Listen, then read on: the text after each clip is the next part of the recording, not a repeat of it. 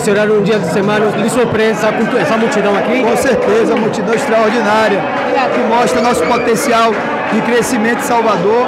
Eu tenho certeza que o Zé Ronaldo vai deslanchar. O senhor acredita na candidatura, pode, pode surpreender mais de uma candidatura de Zé Ronaldo? Não entendi, desculpa. A candidatura de Zé Ronaldo nos interiores pode surpreender mais de um? Vai surpreender e vai ser vitoriosa. Tanto aqui como no interior, ela só faz crescer. Eu tenho certeza que nós vamos construir essa grande vitória. Já tem o nome para vice, Leão? Já Não. tem na cabeça? Ainda não, estamos avaliando.